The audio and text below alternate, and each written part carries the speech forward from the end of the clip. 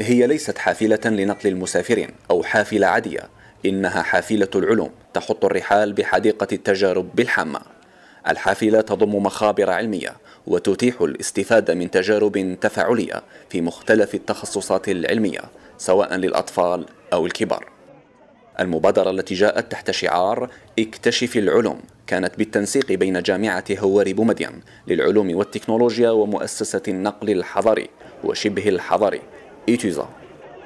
الهدف من هذه الحافلة العلمية هي تقريب العلم من المواطن وداخل هذه الحافلة كما راح نشوفوا كاين الكثير من les expériences scientifiques اللي تشمل الكثير من الكليات تاع جامعة هواري بومدين للعلوم والتكنولوجيا كاين البيولوجيا كاين علوم الأرض كاين آه، العلم الاعلام الآلي كاين ال intelligence artificielle كاين الهندسة المدنية كاين هندسة الميكانيكية كاين هندسة الطرائق. donc الطفل واش راح يدير؟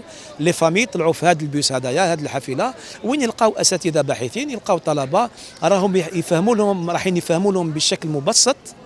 les expériences scientifiques قامت مؤسسة النقل الحضري والشبه الحضري لمدينة الجزائر ETUSA بالتنسيق مع جامعة باب زوار بوضع حافلة في حافلة العلوم للطلبة طلبة باب زوار لإيصال أفكار أفكار وابتكاراتهم للزوار والتلاميذ. المبادرة شهدت إقبالا كبيرا من التلاميذ والطلبة والشغوفين بكل ما له صلة بالعلم والتكنولوجيا.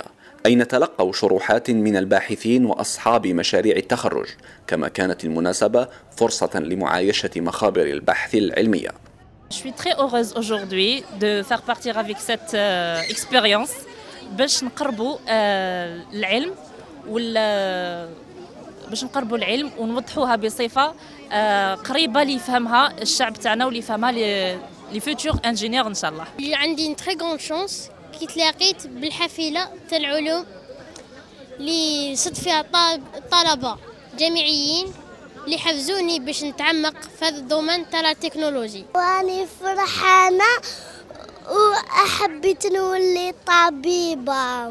حافلة العلوم ستجوب كل بلديات الجزائر العاصمة وستسعى لإخراج الأفكار والبحوث من قاعات المحاضرات ونقلها وتقريبها للعائلات والأطفال على أمل أن تجسد هذه الفكرة في باقي جامعات الوطن.